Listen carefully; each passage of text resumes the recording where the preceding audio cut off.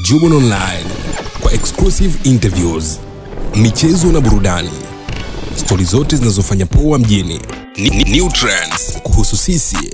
Bonyeza alama ya subscribe. Jubon Online ni ya kwako pekee. Bana, mi naitwa Gumbo, Gumbo Music. Yeah. Mm. yeah. na, nafanya music ya Bongo Flava na design yote wanafanya. Okay. Mm. Nyie nyie ndo mnashiriki pia ah, kumwandikia mistari mzee anapopata zile kolabo. Eh, bana kama hivyo. Ah. Nyi maneno mmepokeaje kuhusiana na issue ya Diamond nani kumkataa mzee? Nyi kama watoto kwa wenu mmepokeaje? Unajua siku zote anaofahamu ukweli ni mama. Simeelewa? Madam mama kaamua kuzungumza hilo, basi acha iwe hilo. Simeelewa? Na yeye mzee, kitu ambacho anachokiaminia kwamba kina ukweli, hacha kiwe hivyo. Simeelewa? Huwezi kufahamu. Unajua mama labda akaongea kwa sababu manufaa fulani au kwa sababu ya ishu fulani. Simeelewa kwa makini. Kwa mzee yeye kalipokea kwa sababu mzee siku zote bwana tunafahamu wewe sio mwongeaji sana wala nini. Wala apende shida shida, apende matatizo. Kwa mama kam, madam kaamua kufanya acha iwe hivyo. Akili kumkichwa mtoto. Yeah. Okay. Wakati mzee anapokea hizi taarifa na mimi ni watu wa karibu, alikuwa katika hali gani tofauti na alivyotuelezea hapa? Unajua kwa mtu yote lazima ujisikie vibaya. Una- una- Unaelewa kwa makini. Hata yeye mama right, sawa? Angejitokeza mama baki akasema mimi Diamond ni mwanangu. mm. nilibadilishiwa hospitali na shahidi huyu nesi. Sijui umenielewa?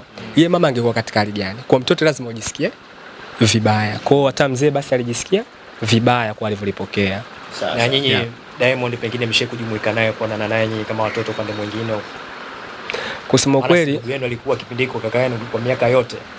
kusema ukweli kwa upande wa Diamond, kwa sababu ikikaa sometime na mzee unakuta naongea hivi anaongea hivi, muda mwingine anatokea mpaka ile mialiko ya kwenda huku kwenda huku. Mimi muda mwingine ile mialiko huwa na cancel kwamba sihitaji hata kufika katika ile namba ya tukio, kwamba anaona kabisa kwamba unaweza ukatoka labda na mzee unaenda, ila ile eneo halina manufaa na yeye, si umeona? Sasa unaenda unaenda kufanya nini? Si umeelewa? Kwa sababu kwamba ninachoamini kwamba Watanzania wengi kwamba tuna upungufu wa kitu kimoja sasa hivi kwamba lilotawala sasa hivi kwamba uwezi ukatoboa mziki mpaka uende Wasafi, ila kwamba si kweli. Unaweza kufanya mziki wako mzuri kapata supporter mzuri akakusapoti basi ukafika. Sio- kwamba mzee kinachomtokea kaenda huku na mimi nikawapo hapa. Wakati naona mzee huko hamna manufaa. Sasa hivi kwamba inakuja linaone, linaonekana ile swala na kwamba mzee anachoshukuru kwamba kipindi chote kwamba alichokuwa anachokihitaji kile halikuwa kipati, ila sasa hivi kaja kuupata ukweli, ndo linakuja swali chenye siri ndo kina utamu. Kwa hiyo acha siri, watu waje kupata utamu. Kwa hiyo sasa hivi watu wanapata utamu, si umenielewa kwa makini, ila kwamba Watanzania tuweze tukafanywa hatuna akili, si tuna akili zetu timamu, afu tuna claim yote toka ukianza kumfuatilia Diamond maneno anaongea kwamba anachosema bro, umeelewa kwamba yeye si Mtanzania, yeye ni Mganda, umeelewa? Ina maana huyo mzee Nyanga utakuniambia ndo Mganda, si Nyage, si Nyage. Kwanza kianga picha ziendani tofauti, si umeelewa? Faza ndo ana udini huo baba Diamond, simenelewa? Kwa kwa Mtanzania mwelewa mwenye akili timamu awezi akapelekeshwa kwamba ataamini hii michezo ambayo inachezwa tuna mama na kama anavyosema mzee ni uchoyo wa madaraka fulani tu fulani. Mimi nahisi iko hivyo hii. Okay. Kama yeah. umekosa support kwa Diamond lakini kwenda lini kwa upande wake ikoje ukizingatia nyinyi tayari ni ndugu, mtabaki kuwa ndugu, mnaendelea kuwa ndugu. Kusema kweli mimi mzee toka ambavyo alivyonigunganisha na dada Queen kwa kuhusu masuala ya koro nini kwamba huwa tunaongea tu vizuri, msalimia dada fresh vipi na hivi, tunapiga story fresh. Mimi kwa upande wa Queen hana shida sana na Faza. Yeah. Okay. Um, ni kipindi gani kigumu ambacho mzee alipitia na ulishuhudia wazi akitafuta msaada kwa Diamond akaukosa? mzee labda sana sana ni kipindi ambacho labda cha matatizo yake najua bwana matatizo labda miguu anamsumbua anamcheki hivi Diamond labda ndo kama anavyosema Faza anaongea naye kukutana na mama mambo yanabadilika na kuwa tofauti. Ila kwa mtoto lazima mume anakuja kumshika mkono mtu baki. Si umeelewa kwa makini? Tukiacha huyu kamsaidia kwa sababu ya matatizo labda huyu hawa aloimba naye nitarejea.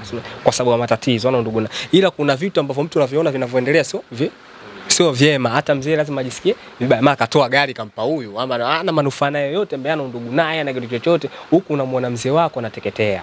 Si umeelewa ndio maana mzee kafikia hatua kwamba anasema mimi naweza nikaamini alichokiongea mama basi inaweza ikawa kwa upande wake.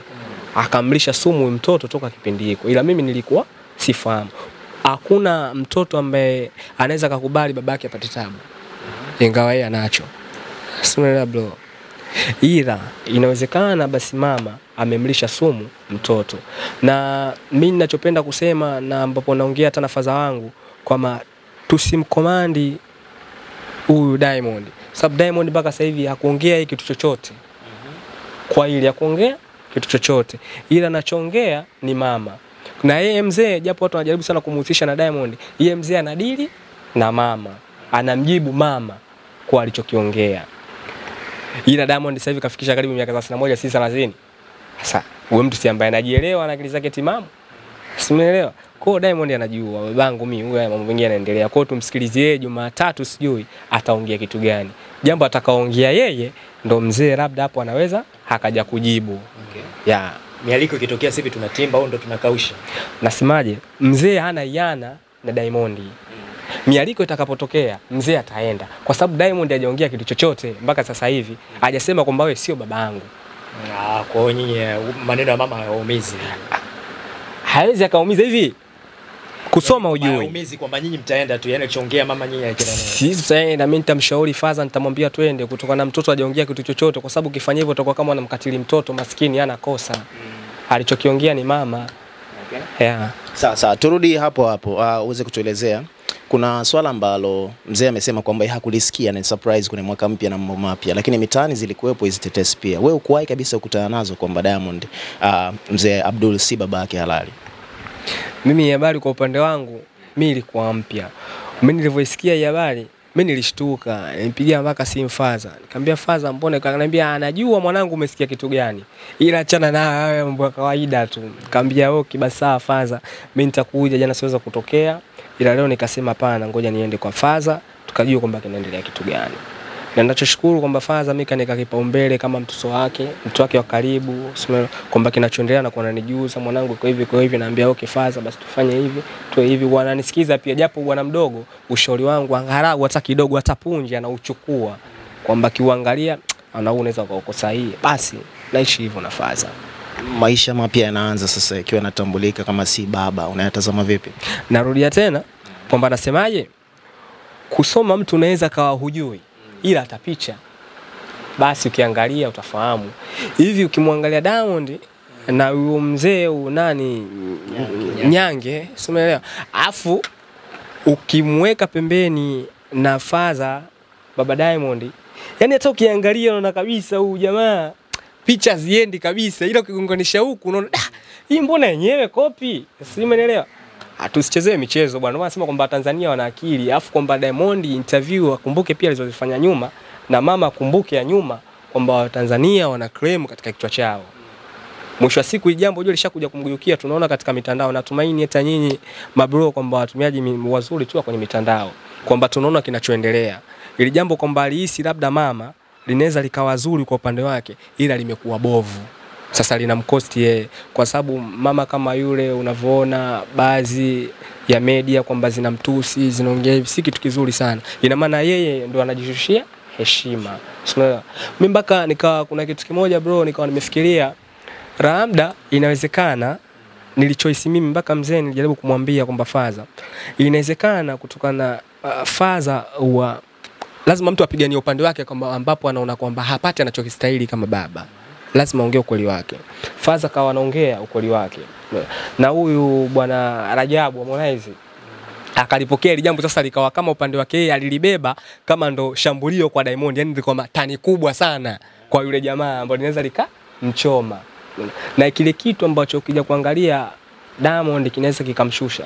Unaelewa? kwa watu ambao yule sasa hivi ambao wanafahamiana nao, anafahamiana na watu wakubwa na jamii ilomzunguka, afu mtu kuona kwamba humsaidii baba yako, kwamba kuna kitu kilikuwa kinamshusha, afu Harmonize kile kitu ndo alikuwa yeye ndo tani lake kubwa sana. Inawezekana labda akakaa na management yao akaona ili hiki kitu kuweza kukiua na Faza wasimfate kumsumbua, sijui umenielewa, ili Faza asimfate kumsumbua kabisa kuhusiana, mbona mtoto akusaidia hivi, hata kama yeye atamsaidia itakuwa ndani ya usiri wao, sijui umenielewa kwa makini. Acha hii habari isemwe hivi kwamba Diamond sio mtoto wa mzee. Okay. Ina maana kama ameshasema hivyo mama, nyinyi watu wa media amwezi kumfata mzee kuja kumuuliza jambo hilo, madamu ukweli ushawekwa bayana, utamfuata utamhoji nini? Mama akashasema huna cha kumhoji. Hiyo nahisi kwamba inaweza ikawa plani yao, ila kwamba ile plani ambayo walotumia kwamba walizani inaweza ikawa nzuri, kumbe ile plani ni mbaya. Wewe unachoamini ni kwamba lile vuguvugu la Harmonize na maneno ya kule Zanzibar ndio yamesababisha hiki kwamba limekuwa kubwa sana. Ehe, hiki kitu kiliweza ambao kumsababishia Diamond kum, kumshusha ba, baadhi ya vyeo na kupoteza baadhi ya vitu fulani. Ehe, umeelewa bro? Sababu ujue mtu kama Diamond ambao hii East Africa tuseme hata dunia yote inamwangalia Diamond. unaona, Anafahamiana na matajiri mbalimbali. Hivi mtu labda tuseme labda tusichukulie huyu Moa na Kano, hivi Diamond kweli nashindwa kumsupport baba yake kwa jambo hili. Mbona si sawa hili? Eh, mbona kwamba anakosea sana kitu hichi kwa na huu bwana Rajabu anapokuwa analitilia mkazo Maondo analitilia msumari sasa wakaona hili li jambo kuliua ngoja tufanye hivi sasa alichokifanya mama kama alimtumia mama karibu kwamba ile jambo limekalia kushoto jambo limekaa vibaya wamekosea. Yeah. Mimi ninachoona tu ambacho cha umuhimu. Mama hajaribu kukaa hafikirie. Atakapogundua kosa lake basi ajaribu kumfata mzee kukiri kwamba amekosea, hata kama haitohusishwa media, hamfate tu mwenyewe kitu fotati, bwana, mi baba Nasibu niliteleza, nimekosea. Au la, wanapotaka kufanya jambo kama hili, ilipaswa wamwite mzee moja mbili tatu hivi na hivi, bwana, teki jamedi, media usikubali kitu chochote. Inamaanisha kwamba mzee walisha mpanga kwa kitu hiki ili kuendelea kumtengeneza Diamond aendelee kuwa pale pale.